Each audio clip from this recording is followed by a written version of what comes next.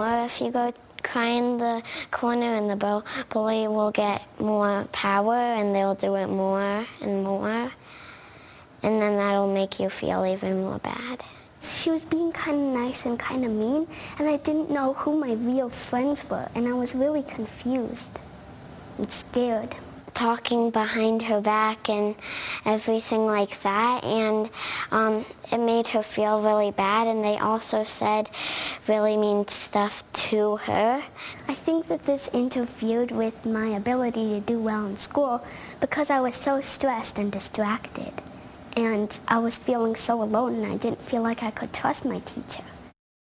These young girls, only 7 and 10, are talking about their experiences with bullying, dealing with the mean girls who oftentimes are aggressive and cruel at school or in their social circles. It's happening, it seems, at a very young age, younger and younger all the time with girls, as even as early as kindergarten. Today, we're learning how parents can help their daughters stand up to the bullying and resolve their friendship struggles. And Dr. Michelle Anthony, author of the book, Little Girls Can Be Mean, Four Steps to Bully-Proof Girls in the the early grades is here with some advice. Hi. Good to have you here. Thanks. We should say here. that these are your daughters that we heard from, right? Exactly. And, and you mm-hmm. wrote this book after dealing with some difficult things for them?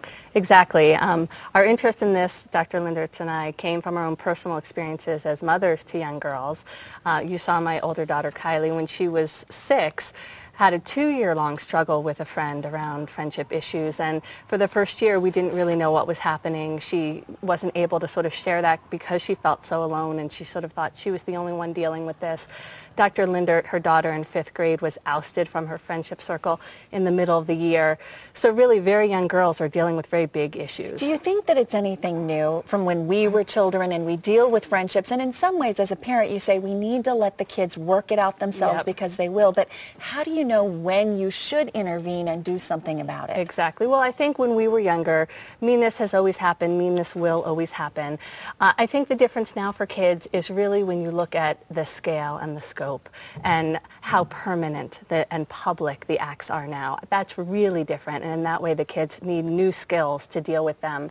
And I think your, your point is exactly right, which is when do you as a parent watch and when do you step in? And that's sort of why we wrote this book, which is how to give parents the tools for what to do in these situations and at the perfect age for kids because elementary school kids are ready for guidance from parents. They seek out interaction with their teachers. They really love that kind of input and they really want it. They want that guidance. Okay, so give me some hard tools then. What do I do when my daughter comes home and she says, little Sue was so mean to me and she made me feel bad. What do I do? Well, I think our, our, natural reaction is either either to say, oh, you know, she'll be nice tomorrow, or to sort of jump in and try and fix it. And, and call the other mom. And no? say, yeah, why is your daughter so mean?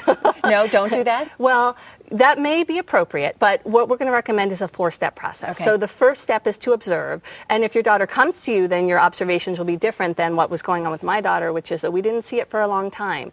Um, but there are ways that you can see things your daughter isn't telling you, changes in behaviors, changes in likes or dislikes. There's lots of tools to look at your child as a social being in a new way, and that's the first step. Okay. The second is to connect. We sort of want to jump over connection and go right to guidance, mm-hmm. but a lot of times the kids themselves don't even know what they're feeling, what they wish for, what their worries are.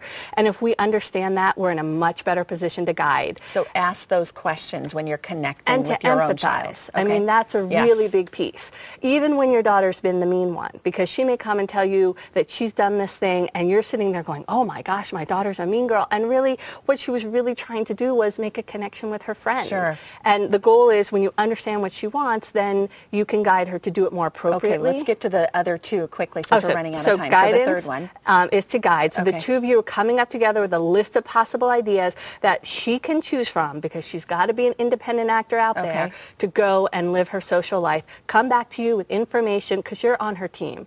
The two of you are working together to meet these Want ends them for to her. know that. And that was mm-hmm. the fourth? That was the fourth. Okay. Support to act. Terrific. Thanks so much. No we problem. appreciate that. And, and as school starts here, the kids are just getting into the fall school exactly. season here. All we those social to, dynamics. Yes, empower them early on. Thanks again. We appreciate it. Well, if you ever wish that you